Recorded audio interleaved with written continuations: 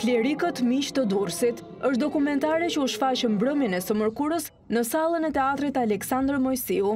Myftiu Mustafa Varoshi, At Erazmi Jorgo, Ipeshkvi Jul Bonati, si dhe At Vinçenc Prenushi, ishin personazhet të këtij dokumentari, të cilin e ndoqën bashkë përfaqësues të komuniteteve fetare, historianë, teologë dhe intelektualë. Nëpërmjet dokumenteve dhe dëshmive del në pah jeta e drejtuesve të komuniteteve fetare në Durrës, gjatë viteve njëzet dyzet të shekullit të kaluar.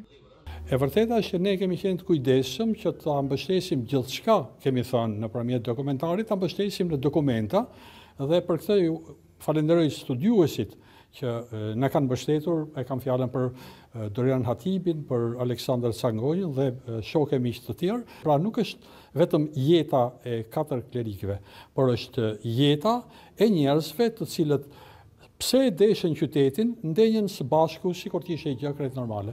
Edhe bashkautori i këtij dokumentari, Astrit Tahiri tha se puna ka qenë e vështirë, pasi është ndërtuar mbi kërkimin shkencor.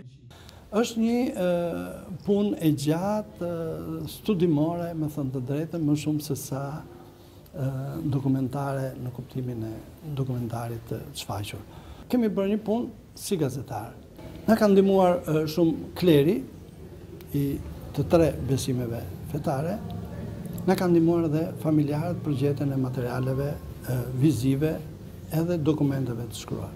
Dokumentari solli të dhëna të rëndësishme mbi bashkëjetesën fetare ndër vite në Durrës, ku kontributi i këtyre figurave të shquara mbetet i pashlyeshëm, të arrestuar nga regjimi komunist, këta klerikë humbën jetën në burgjet e kohës duke u shndërruar në burim frymëzimi për brezat pasardhës.